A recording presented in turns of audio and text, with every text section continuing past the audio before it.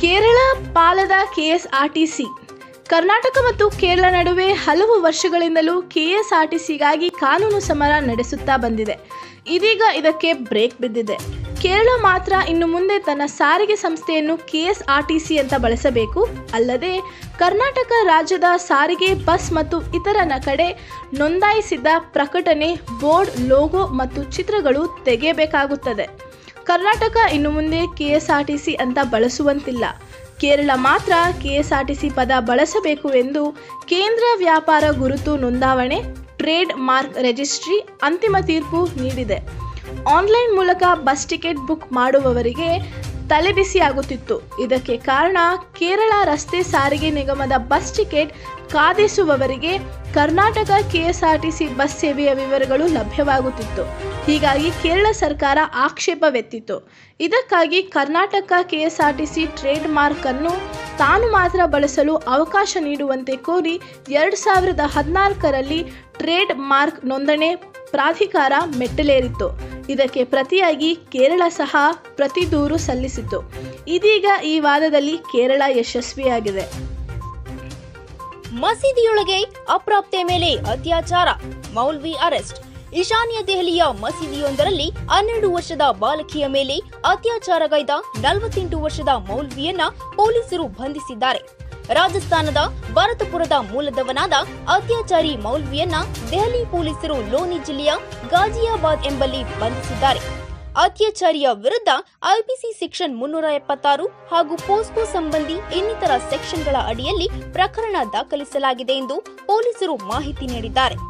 ಮೌಲ್ವಿಯನ್ನ ಪೊಲೀಸರು ಕೋರ್ಟ್ಗೆ ಹಾಜರುಪಡಿಸಿದ್ದು ಹದಿನಾಲ್ಕು ದಿನಗಳ ನ್ಯಾಯಾಂಗ ಬಂಧನ ವಿಧಿಸಲಾಗಿದೆ.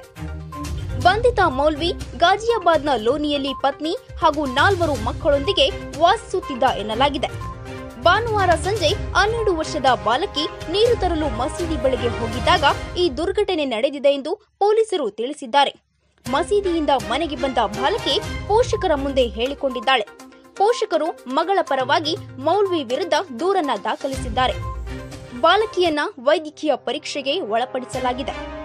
ಮೋಜಿನ ಆಟದ ಪ್ರಿಯರಿಗಾಗಿ ವಂಡರ್ಲಾ ವಿಶೇಷ ಕೊಡುಗೆ ನೀಡಲು ಮುಂದಾಗಿದೆ. ಈ ಸಂದರ್ಭದಲ್ಲಿ ವಂಡರ್ಲಾ ಟಿಕೆಟ್ ಕಾಯ್ದಿರಿಸುವವರಿಗೆ ಶೇಕಡ ಐವತ್ತರಷ್ಟು ರಿಯಾಯಿತಿಯನ್ನು ಅದು ಘೋಷಿಸಿದೆ. ಈಗ ಮುಂಗಡ ಕಾಯ್ದಿರಿಸಿಕೊಂಡರೆ ಸರ್ಕಾರದ ನಿಯಮ ಸಡಿಲಗೊಂಡು ರೆಸ್ಟೋರೆಂಟ್ ತೆರೆಯಲು ಅವಕಾಶ ನೀಡಿದ ಕೂಡಲೇ ಈ ಸೌಲಭ್ಯ ಒದಗಿಸಲಾಗುತ್ತದೆ. ಇವರಿಗೆ ಟಿಕೆಟ್ ದರದಲ್ಲಿ ಶೇಕಡ ಐವತ್ತರಷ್ಟು ರಿಯಾಯಿತಿ ಸಿಗಲಿದೆ. ಯಾವುದೇ ದಿನವಾದರೂ ಈ ಟಿಕೆಟ್ನೊಂದಿಗೆ ವಂಡರ್ಲಾಗೆ ಭೇಟಿ ನೀಡಬಹುದು. ಇದು ಬೆಂಗಳೂರು, ಕೊಚ್ಚಿ, ಹೈದರಾಬಾದ್ನಲ್ಲಿರುವ ಎಲ್ಲ ವಂಡರ್ಲಾದಲ್ಲಿಯೂ ಅನ್ವಯವಾಗಲಿದೆ. ರಾಜ್ಯದಲ್ಲಿ ಇಂದಿನಿಂದ ನಾಲ್ಕು ದಿನಗಳ ಕಾಲ ಭಾರಿ ಮಳೆಯಾಗಲಿದ್ದು, ಕೆಲವು ಜಿಲ್ಲೆಗಳಿಗೆ ಯೆಲ್ಲೋ ಅಲರ್ಟ್ ನೀಡಲಾಗಿದೆ ಎಂದು ಹವಾಮಾನ ಇಲಾಖೆ ಹೇಳಿದೆ. ನೈಋತ್ಯ ಮುಂಗಾರು ಜೂನ್ ಮೂರರಂದು ಕೇರಳ ಕರಾವಳಿಗೆ ಅಪ್ಪಳಿಸಲಿದ್ದು, ರಾಜ್ಯಕ್ಕೆ ಜೂನ್ ಐದರಂದು ಬರುವ ಸಾಧ್ಯತೆ ಇದೆ ಎಂದು ಹವಾಮಾನ ಇಲಾಖೆ ತಿಳಿಸಿದೆ. ಮುಂದಿನ ಐದು ದಿನಗಳು ರಾಜ್ಯದ ಒಳನಾಡಿನ ಹಲವು ಕಡೆ ಮಳೆಯಾಗುವ ಸಾಧ್ಯತೆ ಇದೆ ಎಂದು ಹೇಳಿದೆ. ಜೂನ್ ನಾಲ್ಕರವರೆಗೆ ಕರ್ನಾಟಕದ ಹಲವು ಜಿಲ್ಲೆಗಳಲ್ಲಿ ಮಳೆಯಾಗುವ ಸಾಧ್ಯತೆ ಇದೆ. ಮುಖ್ಯವಾಗಿ ಉತ್ತರ ಕನ್ನಡ, ದಕ್ಷಿಣ ಕನ್ನಡ, ಉಡುಪಿ, ಬೀದರ್, ಕಲಬುರಗಿ, ಬೆಂಗಳೂರು ಗ್ರಾಮಾಂತರ, ಬೆಂಗಳೂರಿನ ಚಿಕ್ಕಮಗಳೂರು, ಚಿತ್ರದುರ್ಗ, ದಾವಣಗೆರೆ, ಹಾಸನ, ಕೋಲಾರ, ಶಿವಮೊಗ್ಗ, ರಾಯಚೂರು, ತುಮಕೂರಿನಲ್ಲಿ ಮಳೆಯಾಗಲಿದೆ. ಕರಾವಳಿ ಜಿಲ್ಲೆಗಳಾದ ಉತ್ತರ ಕನ್ನಡ, ಉಡುಪಿ ಮತ್ತು ದಕ್ಷಿಣ ಕನ್ನಡದಲ್ಲಿ ಜೂನ್ ಮೂರು ಮತ್ತು ಆರರವರೆಗೆ ವ್ಯಾಪಕ ಮಳೆಯಾಗುವ ಸಾಧ್ಯತೆ ಇದೆ ಎಂದು ಹವಾಮಾನ ಇಲಾಖೆ ತಿಳಿಸಿದೆ. ರಾಜ್ಯದಲ್ಲಿ ಮತ್ತೆ ಲಾಕ್ಡೌನ್ ವಿಸ್ತರಣೆ ಮಾಡುತ್ತೇವೆ ಎಂದು ಸಿಎಂ ಯಡಿಯೂರಪ್ಪ ಅವರು ಹೇಳಿದ್ದಾರೆ. ಡಾಲರ್ಸ್ ಕಾಲೋನಿಯ ದವಳಗಿರಿಯ ಮನೆ ನವೀಕರಣ ಹಿನ್ನೆಲೆ ಇಂದು ಮನೆ ನೋಡಲು ಆಗಮಿಸಿದರು. ಈ ವೇಳೆ ಮಾಧ್ಯಮಗಳು ಲಾಕ್ಡೌನ್ ಬಗ್ಗೆ ಕೇಳಿದ ಪ್ರಶ್ನೆಗೆ ಕೊರೋನಾ ನಿಯಂತ್ರಣವಾಗದ ಹಿನ್ನೆಲೆಯಲ್ಲಿ ಲಾಕ್ಡೌನ್ ವಿಸ್ತರಣೆ ಮಾಡುತ್ತೇವೆ ಎಂದು ಉತ್ತರಿಸಿದರು. ಹಳ್ಳಿಗಳಲ್ಲಿ ಇನ್ನೂ ಕೊರೋನಾ ಕಡಿಮೆಯಾಗಿಲ್ಲ ಲಾಕ್ಡೌನ್ನಲ್ಲಿ ಏನು ಮಾಡಬೇಕು ಎನ್ನುವುದರ ಬಗ್ಗೆ ಇಂದು ಸಂಜೆ ತೀರ್ಮಾನ ಮಾಡುತ್ತೇವೆ. ಕೈಗಾರಿಕೆಗಳ ರಫ್ತು ಘಟಕಗಳಿಗೆ ಮಾತ್ರ ಅನುಮತಿ ನೀಡುತ್ತೇವೆ. ಕೆಲವೊಂದಕ್ಕೆ ಮಾತ್ರ ವಿನಾಯಿತಿ ಕೊಡುವ ಬಗ್ಗೆ ಸಂಜೆ ಚರ್ಚೆ ಮಾಡುತ್ತೇವೆ ಎಂದು ಹೇಳಿದರು.